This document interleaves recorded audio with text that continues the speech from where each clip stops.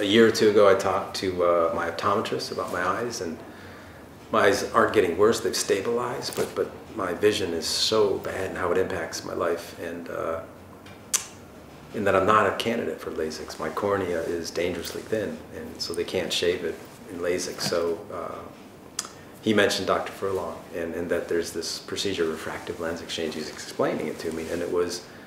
Uh, a fairly new procedure, but well established and safe and all that stuff. And it sounded so perfect. And then I'm a lawyer, right? So I do my due diligence and, and, and I think about uh, Dr. Furlong and check his background and, and all the reviews about Dr. Furlong. And I find out, which was wonderful, that he's the number one eye surgeon in probably all of California. And he's unbelievably well respected.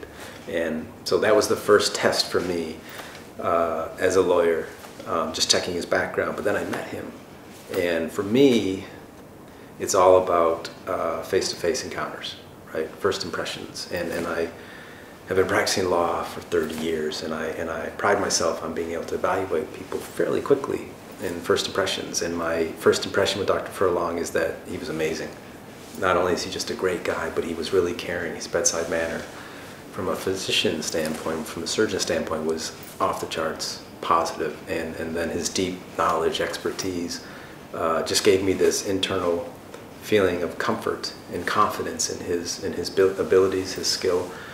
Because at the end of the day, it's my eyes, right? You don't want to mess with your eyes, and but I have absolutely no reservations because of how talented, experienced, and skilled uh, Dr. Furlong is. So, super excited for this procedure.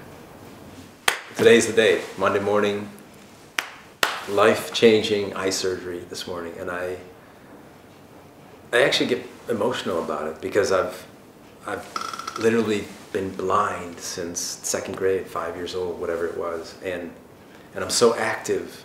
My eyes are a huge part of my life, and, and all the activities I do, whether it's survivor or trail running or sand volleyball that I passionately love, my vision impacts it in a negative way every single time in some fashion. So I, uh, this is a dream for me. It's, it's hard to even imagine that this is, this is, that today is today and, and it's going to happen. So I, I am very, very excited and, and optimistic, right? It's my eyes. And so I, I tweeted last night that, that I'm having this procedure done and, and I've got a lot of Twitter followers through Survivor and everyone's going crazy. They're so excited, saying prayers for me and all this stuff.